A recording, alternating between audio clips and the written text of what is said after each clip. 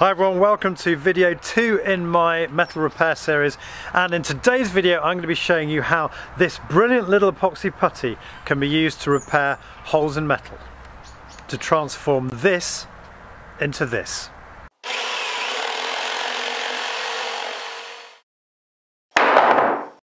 Now, I came across this stuff a couple of years ago when I was repairing a hole in the roof of this funny little outside light.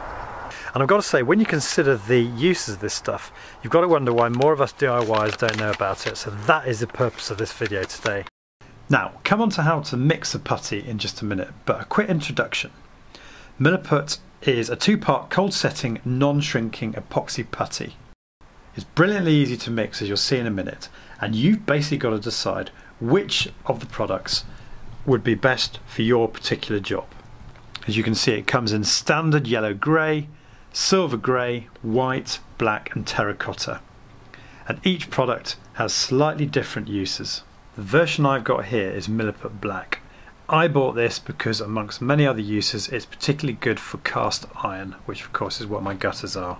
And finally, in case you're wondering where you can get it from, I bought mine from Amazon for just over £5. So having stripped off the paint, I've got this hole to fill. You used to be able to get really good products like this. This is about 15, 20, 25 years old. I've tried to find this everywhere, but I can't. So I'm going to make do with a combination of wire wool and a few wire, wire brushes I've got for my drill.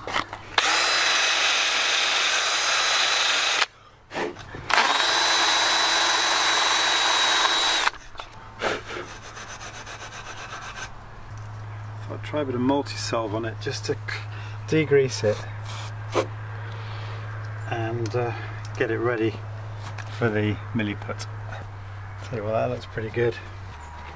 The great thing about this stuff is it evaporates so we don't have to worry about cleaning it off thoroughly before painting.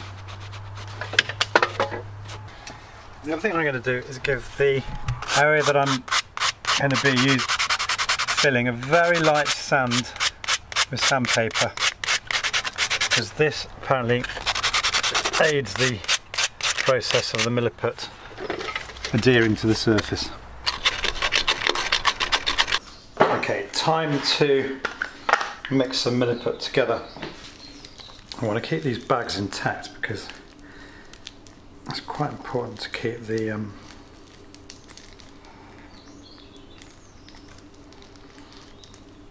the epoxy as fresh as possible.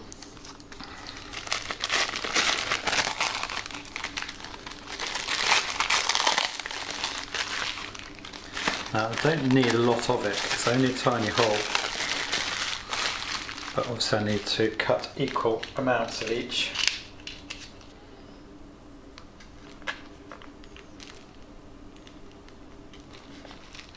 Say normally I'm a bit blasé about um, hand protection, but for once I'm to put some rubber gloves on. And I got these, I think, from Screwfix.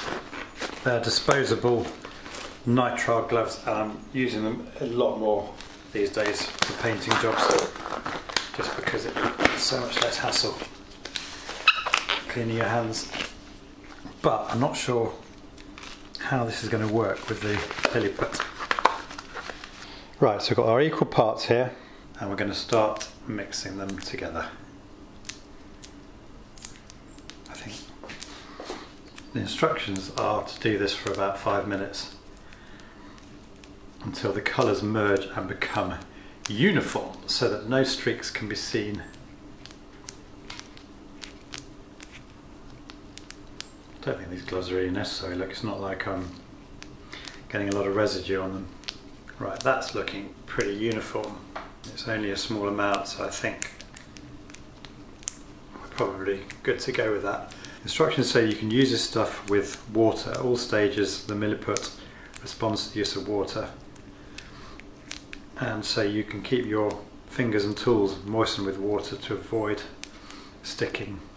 To obtain a smooth finish, mould or apply it and then immediately wipe and smooth gently with a wet finger or with a fine textured moist cloth. Okay everyone, we're back outside. Now I'm going to just apply the milliput to the hole, start patching it.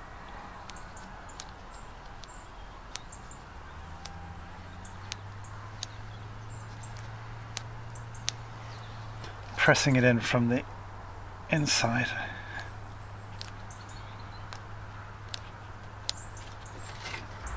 What I love about this stuff is it's much more malleable than a lot of fillers you use. It's just like plasticine really, so you can just sort of play around with it until you're happy you've got a good sort of consistency and a good shape. I've got a little bit of a hole there, so I'm just going to put a bit more on and just push it into the hole. I don't have the glove on Yeah, you do get a little bit of residue on your finger, but not a huge amount. So when you're happy with it, you can apply with a moistened finger just to smooth it down because apparently it responds to responds to the use of water at all stages from initial mixing to final setting. So I'm just with a slightly moistened finger just smoothing that. That's great, happy with that. Now, as I've got a bit left over, and I don't know how easily this is going to come out on the video, I've got a cracked part of the hopper here in the corner that's never had, so obviously it's very brittle stuff this uh, cast iron and at some point it was this was um, it lost its edge so I'm going to try and put a little bit of the milliput on that as well because I've got a bit left over. This may not work but we'll see how we get on just giving it a a squeeze and I'm just edge of my wire brush. Just making it straight. Well I'm going to be really interested to see how this repair works up here. Do you know what? It's not necessary for the um, operation of the hopper but as you walk down the drive you can see it quite clearly and doesn't need to be strong. It probably won't be that strong but let's see how we get on. Because once that's painted you'll never know that that chip was missing. Okay, so that's repair number one done. It'll set in three to four hours without shrinking. And looking inside the hopper, that is the repair from inside. So it should be a really strong repair because I'm basically layering up on the inside and the outside of the hopper. Right, it's about 36 hours since this repair was done. It's sort of gone metal hard. You can see it leaves the odd scratch behind when I dig my nails into it. I'm just going to give it a little light sand.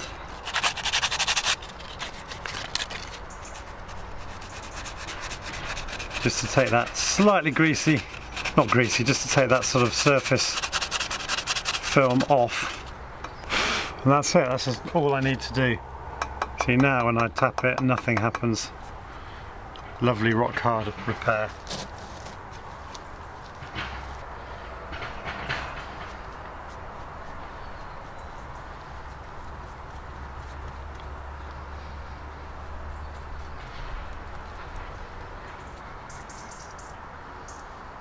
And then of course, not forgetting this little repair here. Again, it's sort of metal hard now.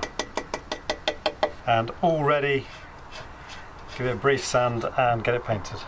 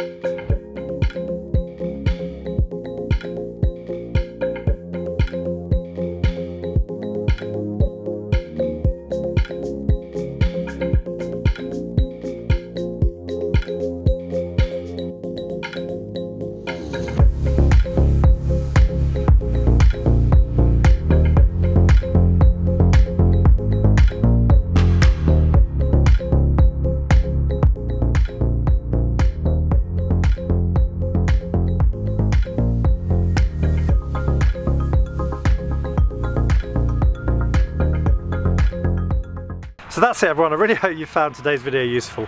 In my next video I'll be showing you how I've used this JB Weld epoxy adhesive to glue two bits of metal back together.